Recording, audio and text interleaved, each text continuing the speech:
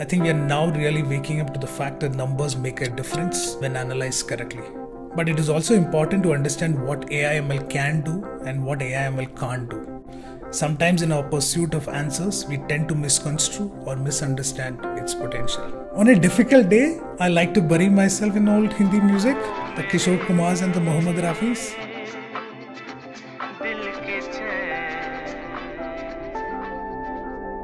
I also enjoy the long road trips where I am completely detached from everything else and living the moment.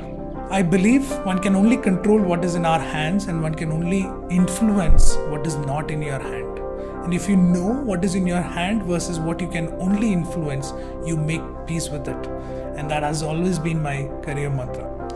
The greatest gratification comes when the insights you provide through analytics to a client makes an impact in their business. This desire to improve efficiency and make a significant impact will always be the wood for my inner fire. I'm Sreekanth Menon, AIML lead at Genpact. Meet me at Cypher.